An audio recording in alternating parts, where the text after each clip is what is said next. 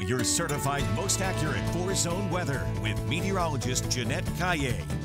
I'm sort of getting used to this dreary weather. It's You been are? hanging around for so long. yes, in the last couple of days. My goodness, uh, today I think is like the worst of it. Just that persistent mist. We've It's been dealing with it since awful. overnight. Yeah, and uh, it's going to continue through this morning. Now, this afternoon may not be as wet, but I can't completely rule out an isolated shower, maybe a thunderstorm. That storm chance increases a bit tonight, and then more storms are possible late tomorrow night into early Sunday. Next week, drier but very hot.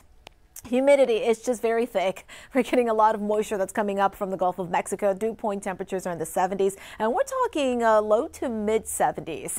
There's also so along with the bit of rain we're seeing, watch for low visibility. It's quite low anywhere from northern to uh, western Bexar County at the airport. Visibility at two and a half miles, two miles in New Braunfels. Also seeing some of that fog south along I-37. Live power Doppler radar showing you those patches of green, indicating where we're seeing that mist. Earlier, there were some showers off towards the east and southeast. Again, can't rule out maybe a brief shower in parts of the area as well as we go through the day. Uh, farther to the east and northeast, north of Houston, check out those thunderstorms. These are slow moving storms producing a lot of heavy rain, and uh, there is the concern for flooding. This region saw heavy rain yesterday, and with more rain this morning, flooding is a big concern. That's a flood watch. Lighter green is a flood advisory. In the red, that's where flooding is more imminent. Those are flash flood warnings. So heads up if you're heading towards Houston at some point this morning. Across the country, well, we're seeing rain, but it's mostly lighter rain that's moving farther east from the Great Lakes to the Tennessee Valley. Snowfall back across Wyoming and Montana. Here is a dry line, very famous Texas dry line. A drier air behind the front, very humid air ahead of that boundary. Once that boundary heads farther east, that could help to trigger a thunderstorm or two across our northern and western areas late today. This afternoon here, partly to mostly cloudy with a shower or two possible, maybe a- an isolated thunderstorm.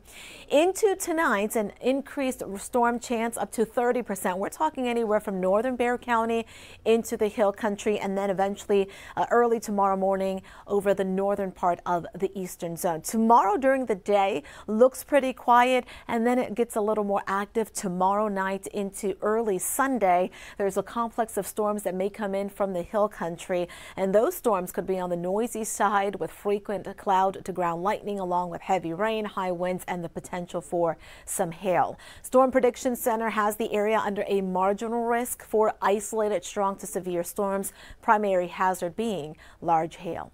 Areas of fog and mist this morning uh, with temperatures on the mild to warm side, mid to upper 70s.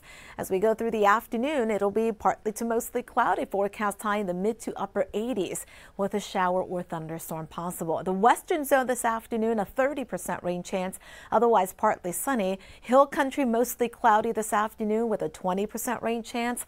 And throughout the afternoon hours in the eastern zone, a 30% chance for showers and thunderstorms. We're looking at a 30% rain chance tonight, 10% during the day tomorrow, 40% tomorrow night into early Sunday, Cinco de Mayo, 85 next week. Check out those high temperatures, 92 Tuesday, 95 Wednesday, upper 90s by next Thursday, but it'll feel like the triple digits here late next week when you had the humidity. Here's the extended forecast for everybody else. One more, here's the extended for the eastern zone. Keep the umbrella handy.